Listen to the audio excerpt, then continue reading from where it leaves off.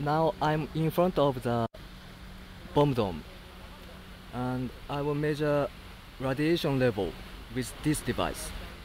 Uh, it's this air counter S. Uh, Japanese manufacturer S-Tape. Uh, anyway, switch on.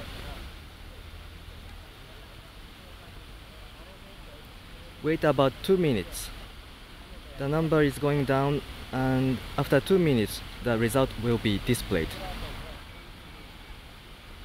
Uh, if it's 0 uh, if it's 0.15 it's normal level.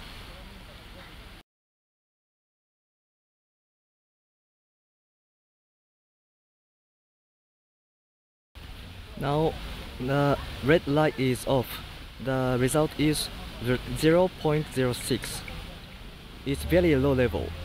Radiation level is very low so uh, no danger very safe